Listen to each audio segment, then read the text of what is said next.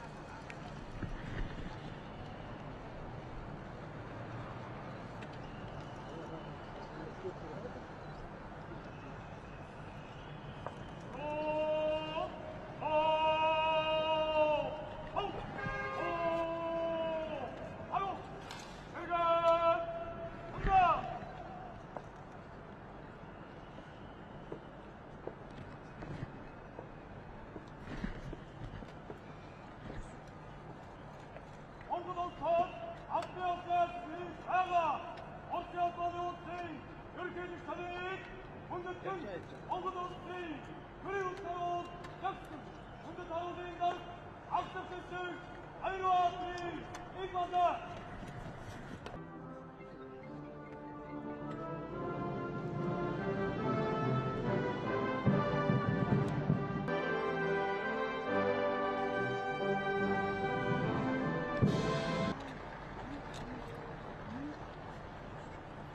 Холбооны байдлын 85 жилийн хүрээнд холбооны улсын төлөвлөлтөнд Монгол улс бизнесний ажиллаж байна. За Монгол улсын ерөнхийлөгч холбооны улсын ерөнхийлөгч бизнесний хэсгийн засгийн газрын хоорондын зарим баримтчид арга зүйн орчих юм а. За хоёр улсын хувьд 1921 оны 11 сарын